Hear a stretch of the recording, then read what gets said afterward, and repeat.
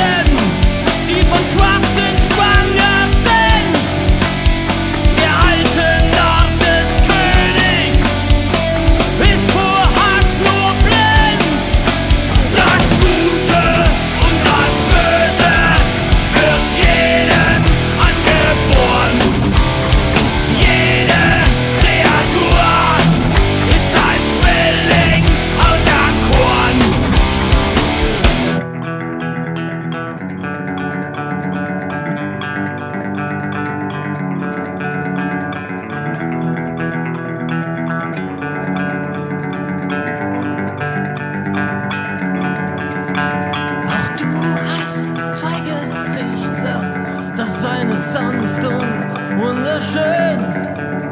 In dem anderen kann man Hass und tiefe Narben nur noch